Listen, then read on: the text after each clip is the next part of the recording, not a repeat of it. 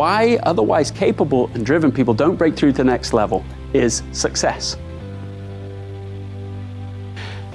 And this is how it works. I first observed this working with executive teams in Silicon Valley. And this is the process. The paradox of success is that when they were focused on a few essential things, the right things, they could get unified behind it and so on, and it coalesced to momentum, and with that, they were able to produce success.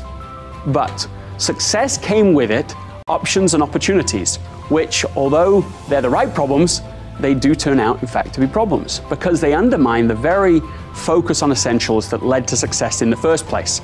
So, I'm exaggerating the, point, exaggerating the point in order to make it, but success can become a catalyst for failure. And if not that, at least success can become a catalyst for plateauing in our progress.